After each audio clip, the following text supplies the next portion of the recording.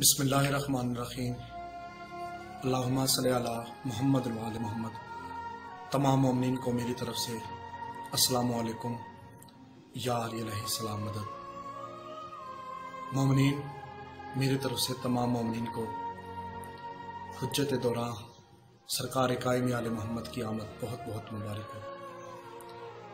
مومنین، پندرہ شبان المعظم کی رات بہت ہی بابرکت رات ہے۔ عظمتوں والی رات ہے۔ کسی نے امام جعفر صادق علیہ السلام سے پوچھا، مولا، اس رات کی عظمت کیا ہے؟ تو میرے مولا نے فرمایا، شب قدر کے بعد یہ رات تمام راتوں سے افضل ہے۔ فرمایا، یہی وہ رات ہے جس رات کے بارے حالق کائنات نے اپنی ذات کی قسم اٹھائی ہے۔ مجھے قسم ہے اپنی ذات کی۔ میں ہرگز اس سے حالی نہیں لٹاؤں گا۔ جو اس رات مجھ سے طلب کرے گا۔ نبی کریم صلی اللہ علیہ وآلہ وسلم نے فرمایا، یہی وہ رات ہے جس رات حاطف غیب کی طرف سے آواز آتی ہے۔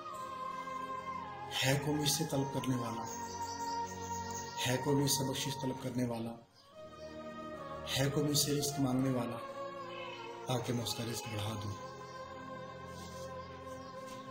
فرمایا، اس رات شب داری کرو، عبادت میں بسر کرو، تلاوت قرآن پاک پڑھو، اور دعائے کمیل پڑھو۔ اس رات کو غسل کرنا سنت مقدہ ہے۔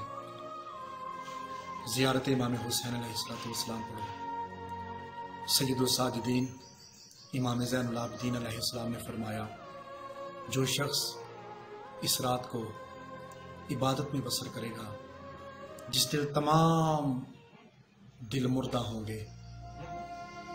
اس دن اس شخص کا دل مردہ نہیں ہوگا یعنی قیامت کا دن۔ فرمایا، جو شخص چاہتا ہے، وہ انبیاء علیہ السلام سے مسافہ کرے تو وہ میرے بابا حسین ابن علی کی زیارت پڑھے یعنی زیارت امام حسین علیہ السلام پڑھے۔ اللہ اکبر۔ دوستو، نیمہ شبان کی رات بخشش والی رات ہے۔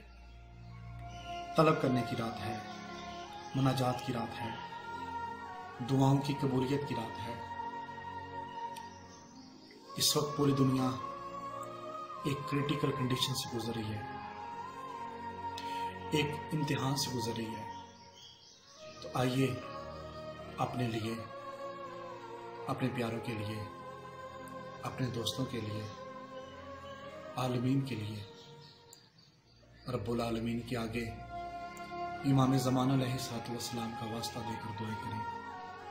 اس کا اعلان ہے، ادعونی استجب لکم